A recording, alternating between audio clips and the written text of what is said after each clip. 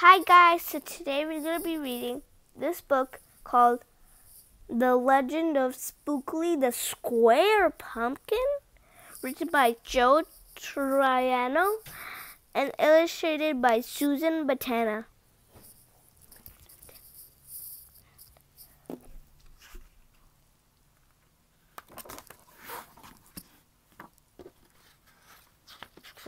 I'm guessing this is Spookley the Square Pumpkin. Hmm. Because he is square and he is a pumpkin. One day in the pumpkin patch, the strangest little pumpkin hatched. Spookley wasn't like his friends. They each had curves. He had ends. Spookley was different.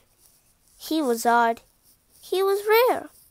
Spookley the pumpkin wasn't round. He was square. Oh, have you ever seen a pumpkin that was square? Like Spookley? Hmm. While, while the round pumpkin had fun rolling along, poor Spookley sat there shaped all wrong. He tried and tried with all his might, but he couldn't budge. He just sat tight. The other pumpkins teased him because he was square.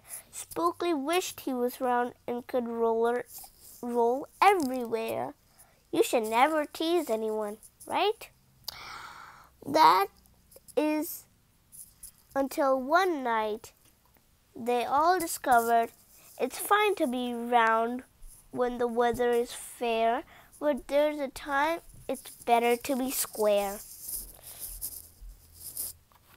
Hmm, I wonder what they mean by that. Halloween was just a day away when a mighty storm blew across the bay. It tossed the round pumpkins to to and fro. It snapped their wands, then off they'd go, bouncing left, slamming right, banging, bashing. What a sight! Spooky, spookley sat there, filled with fright, but glad to be scared that night. I would be glad to be square if I were those pumpkins. Suddenly the fence gave away. Three pumpkins rolled out and into the bay. Oh no, where's what's gonna happen to the other pumpkins? Spookley knew what must be done. It was up to him. He was the one. He he teetered, he tottered, he tipped, he tried, and finally flipped. He was on his side. Again he tipped, Again he flopped. Again he flipped. And then, then he stopped. Right in the gap there where the fence had snapped, he blocked the way the hole was capped. All the pumpkins shouted hooray! Spookley the square pumpkin has saved the day.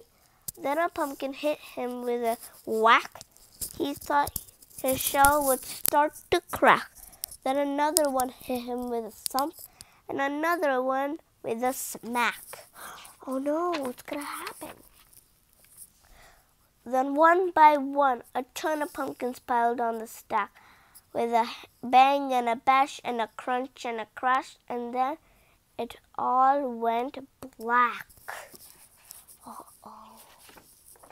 I wonder what's gonna happen right now. At dawn, when the storm had stopped, the farmer came out and checked, checked the crop. He picked his pumpkins up one by one and laid them out in the warm, dry sun. And when the last was moved away, the farmer could see what had saved the day. An odd shaped pumpkin, sort of in a dense was wedged against the broken fence. Its shell was bruised, its stem was too. but there was a brave little Spookley sitting straight and strong and true. Right then and there, the farmer knew of all the seeds he'd ever sown, Spookley was the most special that he'd ever grown. And the next year, when it was time to sow, the sowed those seeds in every row, the, and he watered and weed and watched them grow. And oh, that morning about mid June, when the pumpkins patch began to bloom, there were tiny pumpkins everywhere, hundreds and hundreds, most of them square. But, oh, what? Some were cubes and some were rec rectangular. Some were flat and others were triangular. There was a bed of bright red ones and two rows of blue. There were polka dot pumpkins and rainbow ones too. There were thousands of colors and hundreds of shapes. Oh, what a garden variety makes! Oh, wow, those are interesting pumpkins. Now, every year on Halloween, Spookley's Patch is quite a scene. People come from far and near to see what wonders grew that year. They stop, they walk, they gaze, they stare. Then they pick up a pumpkin that's round, triangular, and perfectly square. Now you know the story of how Spookley grew. Maybe someday you'll tell someone too, and they'll go to tell who'll go to tell another, and maybe one day we'll all we all will discover you can't judge a book or a pumpkin by its cover. The end. And I also want to say that last page taught me a lesson to not make fun of someone and to not judge the person, book, or anything by how they look. So I hope you liked the story, The Legend of Spookley the Square Pumpkin, and you also learned a lesson. Bye, that's all for today. Bye.